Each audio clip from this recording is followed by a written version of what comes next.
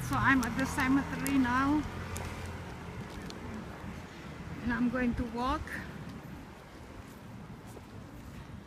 under this strong sun but not that hot because there's a little breeze. That's what I like about Italy. There's always a, a fountain. And uh, Pietro always had to stop for a drink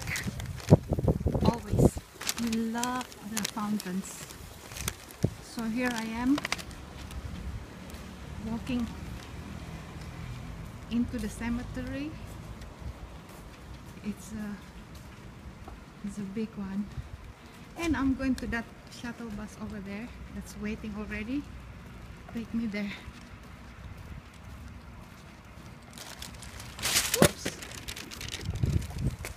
I dropped my water Bought already the flowers.